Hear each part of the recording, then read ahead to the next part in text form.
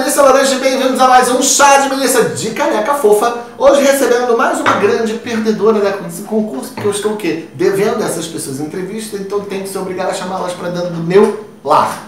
Nós recebemos hoje uma pessoa muito destrambelhada, magnífica, humorista, politizada, fantástica. Recebo com muito carinho, muito amor, Olivia Gold. Olá!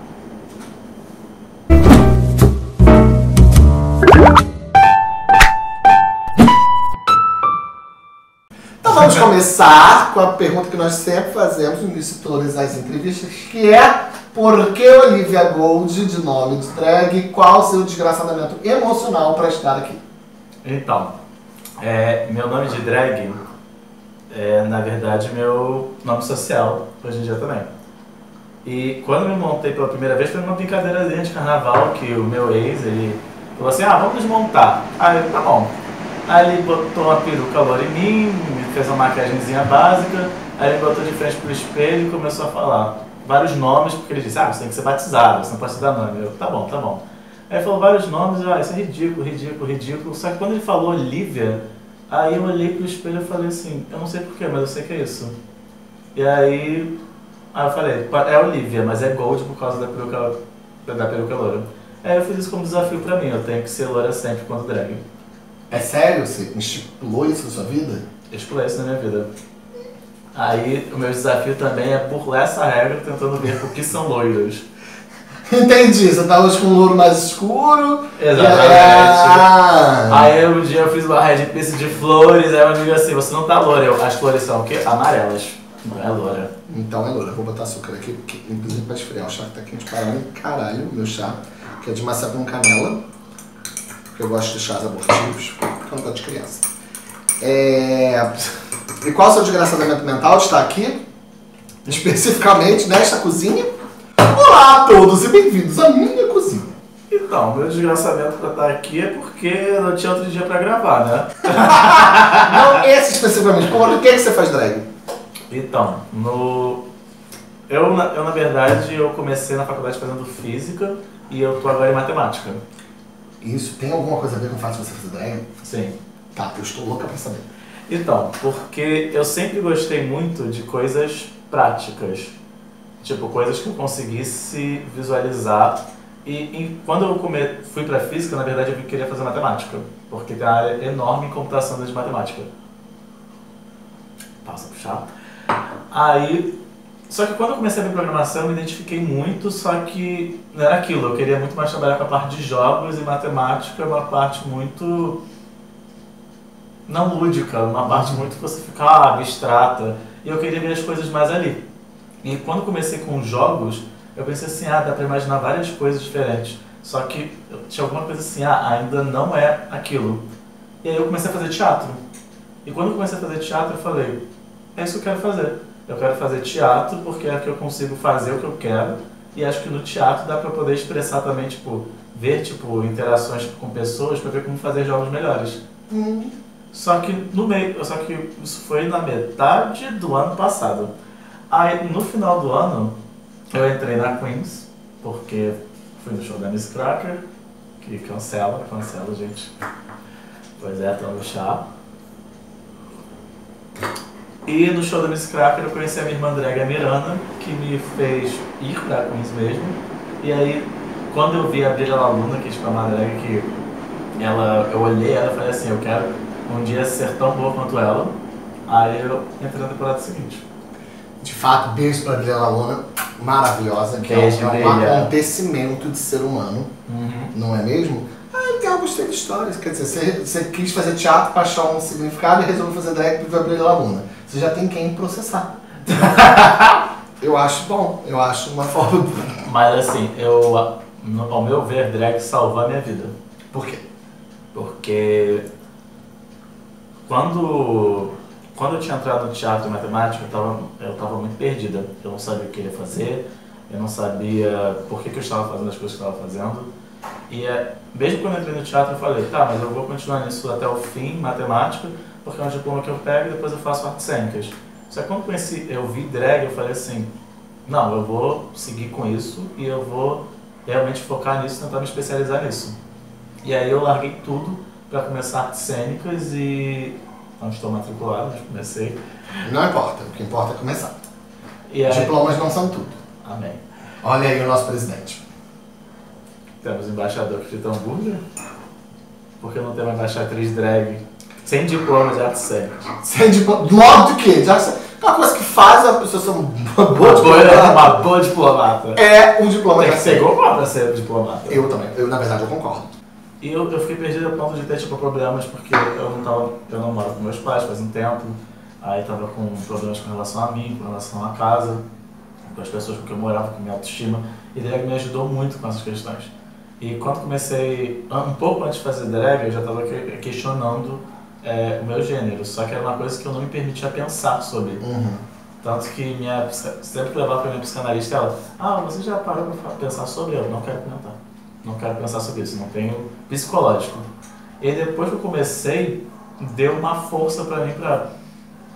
Tá, agora eu tenho uma estabilidade mental, vamos pensar sobre. E fala sobre a performance que você fez no Dragstar da temporada passada. Ah, Com o Hernandes saída do armário, né? Sim, saí do armário de gênero.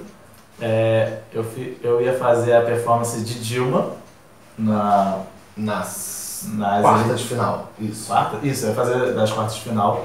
Só que, é, então, só pra contextualizar. Nesse, nesse Dragstar, que foram tipo nos seis meses, eu, como eu tava começando, eu queria começar comédia. Porque no teatro eu não faço comédia. No teatro eu sempre sou muito pesada. E aí eu pensei, pô, já que eu tô começando em drag, acho que é melhor começar com algo que eu não sou tão confortável assim.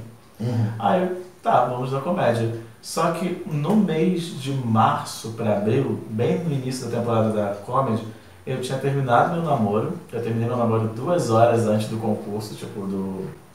Pois é, eu fui pro concurso terminada. Calma que chegou a pizza. Só um minuto. Estávamos dizendo, a ser interrompidos pela pizza, que você tinha terminado duas horas antes de entrar no concurso. Aí, tipo, muita- muitas coisas aconteceram nesse mês, mas esse mês específico foi que eu já, eu já tinha subido um pouco antes, mas eu tava começando a lidar com a questão de ser trans. E aí eu tava pensando essa performance já pro Dragstar, mas aí eu virei, tipo, pra algumas poucas pessoas que sabiam, que era Mirana, Azeri, tipo, Mauro. Olha, Mauro, se você vê isso, te amo, tá, meu amor? Eu também amo. Tô louco pra você estar geograficamente chupável de volta. Aí. Só que aí eu isso ficou pesando, pesando, pesando, até que eu falei, gente, eu sei que eu tô querendo fazer comédia, mas não tem como fazer comédia esse mês. Eu tenho que fazer alguma coisa que pelo menos tire isso do meu peito. Aí eu decidi fazer a performance do This Is Me, em que eu contei a todos que era trans, mas eu acho que era muito mais eu contando pra mim mesmo. Uhum. Porque, sabe, acho que foi uma porta assim de. É uma porta que eu chutei e não tinha mais como eu voltar. Sim. Porque mesmo contando para poucas pessoas era aquilo, podia negar, podia mentir, mas eu não queria mais aquilo. Então, para mim chutando a porta era, você não tem mais volta, você assume pronto. Não, foi muito linda e esse foi um dos dias mais bonitos do Dragstar, eu acho, assim, de todos os Dragstars. Foi um dia de shows que eu achei muito bonitos, né? Porque eu acho que drama e comédia sempre estão muito próximos, então mesmo o drama sendo uma coisa muito pesada, tem como você ver o lado cômico daquilo. Tanto que eu, eu adoro ver o lado tragicômico das coisas. O mundo, exatamente. Você indo no carro falando que a vida tá numa merda e eu rindo horrores. Da minha desgraça. Da desgraça Tá dela. arrombada, cara. Explica pras pessoas o que você tá tomando. Então, no momento estou tomando um chazinho de melissa, é orange mesmo? Com laranja. Melissa É com sério? laranja, né? Então, estou tomando um chazinho de melissa com laranja mais hortelã. E o sabor está incrível, você consegue sentir o gosto do hortelã e dá pra sentir a essência do que é melissa que eu nunca tinha provado antes. Com corote. E importante. quem sabe, corote é uma marca da minha drag, Olivia Gold. Que se você me vir sem uma corote é porque provavelmente você não está me vendo. É uma outra pessoa loura com muita maquiagem na cara. Você tem um livro. Sim, eu tenho dois livros e na verdade eu escrevi o terceiro. Fale sobre isso. Então, Eu nunca li, então não posso atestar se é bom ou não. o primeiro livro era um livro de poesias que eu trabalhava no colégio, eu era monitora de física, matemática e robótica no Colégio São Bento. E aí. Nó! Pesado. Pesado demais. Pra, pra quem quiser saber, é um colégio machista, transfóbico, homofóbico, segue a lista, se nega impostos, teve um padre lá que vendeu um prédio que não podia vender. Várias fofocas, se quiser, posso contar aqui, mas acho que ela seria processada e eu... Eu não, quem tá falando é você, eu tô só... Hum. eu sou veículo jornalístico. Entendi. Aí... Onde é que eu tava? Ah, é. No livro. Aí um aluno tinha um aluno que inclusive um amigo meu tinha postado, tinha feito um livro e ele, e ele veio falar comigo, por que você não faz um livro com as suas poesias também? Eu, ah, porque uma coisa assim, solta ali. Ah, eu fiz porque não fazia também. Tá bom. Aí aproveitei, juntei o dinheiro do meu salário e fiz um livro. Só que eu escrevi esse livro e tipo, gostei, foi uma experiência boa pra mim. Só que não tinha sido uma coisa tão lá, vou lá escrever, eram só tipo coisas que eu tinha escrito. Só que aí o segundo. É uma coletâneazinha do que você tinha feito de modo geral. Né? É. Só que aí o segundo livro, muita gente falava. Ai, Olivia, você tem tipo, umas histórias muito loucas, por que você não escreve um livro sobre coisas da sua vida? É assim, ah, porque quem é que vai querer ler? Pessoal, nós vamos querer ler, a gente compra, vocês compram, compramos. Tá bom, aí eu fui, fiz o livro, o pessoal quis comprar. Ah, isso. Aí eu fiz a continuação, só que sem dinheiro, porque eu estou desempregada no momento. Contratem! Contratem, mandem Professora, entendeu? Drag Escritora, escritora, revisora de texto. Beijo bem. Eu já não sei. Mas aparentemente algumas filhas minhas sabem. Você é uma pessoa muito artística, assim. Você é da matemática e, e não é uma pessoa de ciências duras dura. Você é uma pessoa de ciências dura mole. É, Entendeu? Eu acho isso bonito. Então, você elegia a pessoa dizendo que ela é mole, mas é uma coisa diferente, entendeu? mole não, fle- é, existe uma flexibilidade. Versátil, eu diria. É, faz parte da minha natureza. Faz parte da sua natureza. É, tô esperando o livro, você me empresta então pra eu ler? Porque dinheiro eu não tenho pra comprar, aí você me empresta, tá? Fica Ah, nos ok. problemas, tá muito bem. Pelo- é, Poesia eu, não- eu tenho dificuldade, real, sou professora de português, eu tenho dificuldade de ler poesia como leitura de entretenimento. Agora, Justo. Eu, eu Narrativa pra mim então, mais eu também não gosto muito de poesia pra. Não posso colocar. De ler tantas poesias, porque eu acho que as poesias são muito. Eu gosto mais de slams. Eu acho que slam, tipo. Eles são bem diretos, eles têm um jogo fluido com as palavras, então eu gosto de ler, eu gosto de ouvir slams. E gosto de fazer também. tô esperando sua final da Stars Slam também. Não, é a próxima. É a próxima? É a próxima. Arrasou. Vai. Spoiler! Olivia Gold, você fez drag por tal motivo. Você continua fazendo drag por quê? Quais seus próximos planos? Conte. Então, ao mesmo tempo que fiz matemática, eu estava, eu estava cursando a faculdade de matérias de empreendedorismo. E uma das coisas que eu notei assim que comecei drag é que drag é uma área muito mal explorada. Ah, não diga! Só que é uma área muito mal explorada, mas que tem muito dinheiro que poderia render, e muitos eventos e muitas coisas que poderiam crescer com isso. E tipo, e ao mesmo tempo que você consegue ganhar dinheiro com isso, você consegue dar job para outras pessoas, você consegue gerar, tipo, dinheiro rodando entre essas pessoas. Então você acaba levando a comunidade junto. Pelo menos é uma coisa que eu creio, que não tem como você subir sozinha. Se você sobe sozinha, você cai sozinha também. Uhum. Então, uma das coisas que eu queria começar a fazer era começar a fazer eventos mais diferentes de drag. Como, por exemplo, de hoje, da nossa querida Dominique Lamar, que fez um bingo às 3 horas da tarde de sábado. Eu estou com a maquiagem desde ontem que eu fiz show. Eu dormi de maquiagem, só retoquei e fui. Nós viemos de lá hoje.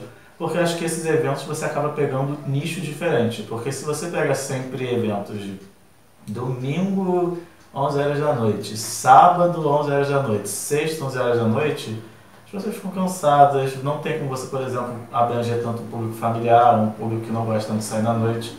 Aí a minha ideia é começar a tentar pegar mais esses públicos e trazer drag para um ambiente teatral também. Aguardem informações, deixe suas redes. Eu vou deixar as redes de Olivia aqui embaixo. Você tem é, Olivia Gold em tudo? É Olivia Gold Max. Em tudo. Em tudo, né? Em tudo. Ah, Engajei com a bebê. Isso é a idade. Ela chegou aos 35. Velha é a sua mãe. E. Muito. Ah, e por que, que você. Então, você me contou por que, que você começou a fazer drag, por que, que você continua fazendo drag? Você acha que isso mudou ou continua a mesma energia? Então, A gente começa com uma ideia e continua com qual? quando comecei na, na Queens na 19, que pra mim é realmente a minha primeira temporada, eu. A Queens foi tipo uma igreja pra mim. Em que eu me eu encontrei a Miranda, que ela tipo, foi muito importante pra mim. Pra mim eu me sentia muito acolhida. É, eu descobri a base militar Chernobyl, que tipo, me acolheu tipo, uma família mesmo, a Lola Suante, minha mãe drag, que tipo, só tenho a agradecer a ela. Maravilhosa. Linda. Já não tá na França, né amor? Aí era tipo muito mais pelo sentimental, só que ali eu comecei a ver coisas que eu falei, acho que tem como viver de drag sim. Só que para viver de drag eu não posso continuar vendo esse mundo como ah, performer ou fazendo os mesmos tipos de eventos. Realmente tenho que empreender nesse meio. Aí, como eu sempre me arrisco com tudo, eu não tenho nada a perder, então o que que tenho a perder se não tenho nada? É isso. O que, que eu tenho a perder se eu não tenho nada? Com esta frase, nós nos encerramos. Obrigado, amiga, por topar Ai, vir aqui isso. depois de eventos shows. A gente fica cansada, meio carcomida. Mas- Desejo que você seja muito bem sucedido nos seus empreendimentos e me contrate. Por favor, paguem a professorinha. É incrível ver você em palco. Maravilhoso. Eu adoro o que você faz, acho você incrível. Então aproveito e já faço um convite para a Melissa Lorange. Faz um convite, que é um convite. Então, estou convidando ela para trabalharmos juntas num projeto também de canal para o YouTube. Não, pelo amor de Deus, vai se fuder, chega, já tem um. Só que um projeto mais tranquilo, para nós fazermos performances na rua. Então, gente, foi um prazer receber a Olivia. Eu quero chegar até os 35, amiga. Então, um beijo grande. Tchau, gente. Até o próximo Um vídeo. beijo, gente. Na verdade, eu estou entrando de férias hoje, se tudo der certo. Minhas filhas que vão assumir o canal. Eu vou ficar 15 dias em Bahamas. Você tem dia pra isso? Claro que não. Bahamas é o bar que tem ali. Ah, tá.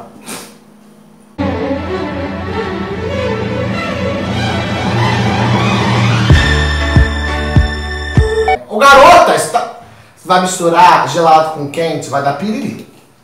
Sério que tem isso? Claro que tem isso. Eu não conheço essas coisas de velha.